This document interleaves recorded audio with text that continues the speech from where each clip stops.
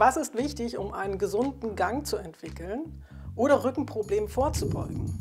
Viele sagen, dass Barfußlaufen wirklich gesund ist. Aber sollten wir tatsächlich keine Schuhe mehr tragen? Ich und mein Team haben untersucht, was passiert, wenn sich Menschen mit oder ohne Schuhe bewegen. Das Laufen ohne Schuhe gilt als das natürlichere Laufen und kann Vorteile für das Gleichgewichtsempfinden haben, für unser Gangmuster oder auch für unsere Muskeln, gerade in den Unterschenkeln.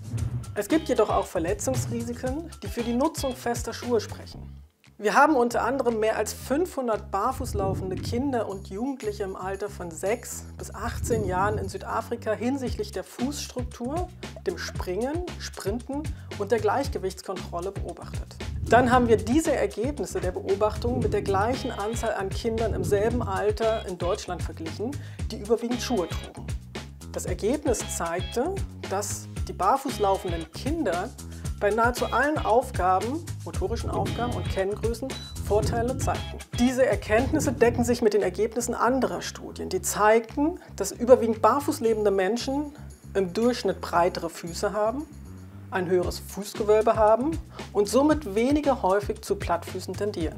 Eine mögliche Ursache liegt in der festen Struktur von Schuhen, die oft die Bewegungsfreiheit von Muskeln und Zähnen einschränkt und somit auch Fußfehlstellung begünstigen kann.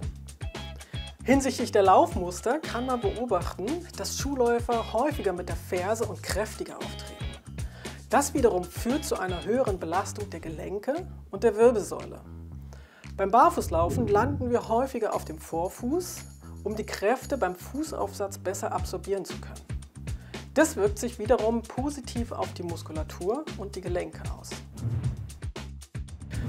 Es stimmt also, Barfußlaufen gilt tatsächlich als die gesündere Variante des Laufens. Aber Achtung, die Verletzungsgefahr kann gerade bei einem abrupten Wechsel in das Barfußlaufen steigen. Ein guter Zwischenweg ist die Nutzung von sogenannten minimalistischen oder barfußähnlichen Schuhen, die eine vergleichbare Wirkung wie das Barfußlaufen haben, aber trotzdem noch einen gewissen Schutz bieten können.